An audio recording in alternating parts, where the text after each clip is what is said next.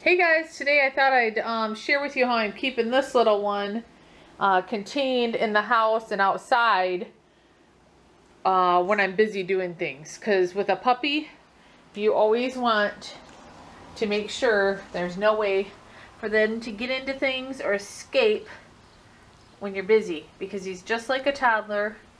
I think he's worse than my other dogs when they were little. I mean, he you turn your head for a second, he's into mischief. He's enjoying his bully stick right now, aren't you? Hey, Magnum. You enjoying your bully stick? Yeah? You want to see what this is? There, see? Yeah. Say hi to everybody. okay, so while he's busy with his uh, bully stick here, gotta get him interested in it again. Here you go. There you go. I thought I'd show you what I have set up here in the kitchen. I have the um, fencing, I think it's technically called a play yard, um, that I had for Max when Max had his uh, little episode, not little, his episode in December with his uh, leg where he couldn't move. Um, I have that set up out here in my kitchen because the kitchen is where I am most of the time. I mean, cook, making breakfast, lunch, dinner, you know, you're out here a lot. So I have it set up right here by my dining room table. And I've got a little, uh, just a mat you put in a, a crate. And then I have his water there. And I've learned do not fill the water dish all the way because he'll knock it over. So don't have a lot in there. And then I've got a couple bully sticks, a ball in there. So when I'm busy cleaning the house, doing dishes, doing laundry, um, stuff like that. I know he's contained and he can't get into anything and he's fine. And sometimes I'll put, I have some puppy pads right here um, by my cookbooks right there. I'll throw a puppy pad in there in case I'm downstairs getting laundry. Just in case he hasn't had an accident in the house yet. And I pray he never does. Fingers crossed, guys. Um, he's been doing great with going outside. So but I will put a puppy pad in there sometimes um, if I'm out of sight for a little bit in case he's got to go. And they want his bully sticks. They're trying to figure out how they can get in there and get them. Caught them trying to move the fencing a couple times and they got in trouble. But, uh, so yeah, so that's how we're keeping them contained when we can't keep our eyes on them. So, let me take you outside now and show you uh, what I have outside for them. Okay, now we're outside. And this, excuse these marks here. My husband would have a rocking chair um, in front of the fire pit because he likes to rock. But today we went out and purchased this. So we can sit out here and watch dogs play, sit by the fire. We love to have fires. Anyways, that's not the point of this video. so this is what I have outside. It's more of that fencing. This is the I've had this one, I think, since I just had Mozzie and Max. Um, I tried to use this one, Max. Um, had his problem with his leg, but it was too tall. This one's a lot taller than the other one, and I couldn't reach in and get him good. And the other one has a door to it too. This one doesn't.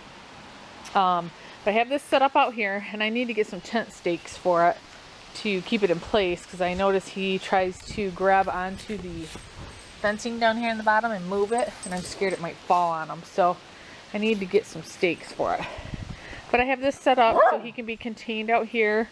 If I'm watering flowers mowing whatever um, if we're sitting by the fire I can move it closer over in this area um, so we can keep an eye on them if we're having a fire.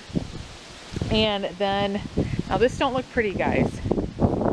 But as I said before, we are going to Port Huron July, I think it's 7th, 7th through the 10th.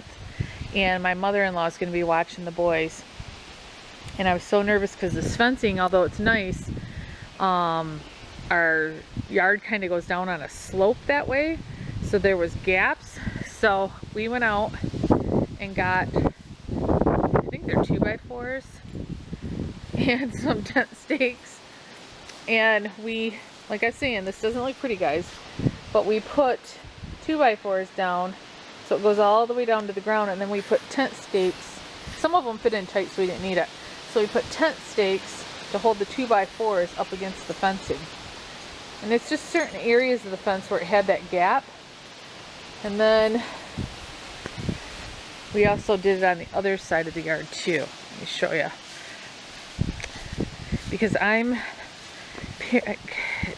my mother-in-law does a great job watching our dogs, but uh, I'll be worried my whole trip if I didn't do this.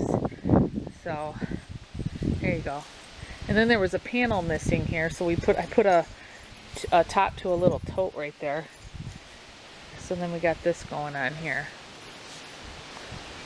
So there's no way he can escape the yard. And then I'm to have to, this bug zapper, we've got a cord going through the yard for this bug zapper. I'm going to have to roll that up when we leave because uh, he likes to try to chew on an electrical cord. So I have to roll that up. Where is he? There he is. And there's a little bit of um, spots back here in this fence I want to put a couple boards too. I just need little ones. Let's see. Let's see here. See how you can see under there? I'm scared he could slip under there if no one's looking. So that's what we did in the backyard to keep this little stinker contained. so sorry my daughter was um, calling for me so I had to click off. But so that's what we did for the backyard And it don't look pretty, but I don't care. I don't care what people think. I'm keeping my dogs safe, right? That's all that matters, boys, right? I'm loving this swing, you guys. I won't I won't rock because I don't make you dizzy, but I'm loving this swing to sit out here and watch the boys play. It's so comfortable, relaxing. I just need, like right here, a lake. I need a house with a lake so I can watch the dogs play, watch the water. That's my dream. Anyways. so that's how I'm keeping him contained in the house and outside so nothing happens to him. Look at, he's, he's a stinker. And he likes to dig too. Look at him. He likes to dig. That's why I put those boards there and kind of used a hammer to get him down tight to the ground. He loves to eat grass. I caught him trying to eat a worm. Trying to eat uh, the little helicopters that fly off the trees. And unfortunately, this tree right here, the bark sheds. So he tries to eat the bark all the time. Yeah, he's a little stinker. I don't remember my other dogs wanting to eat everything before. So I brought him out a bone to chew on. I don't know where it is. But anyways, I'll get off here now. Just wanted to share that with you guys. I'm going to enjoy the rest of the day. It's nice out. It's only 68 degrees. The wind's blowing. It's a pretty day out. Just sit outside on my new swing. Talk to you guys later. Bye-bye.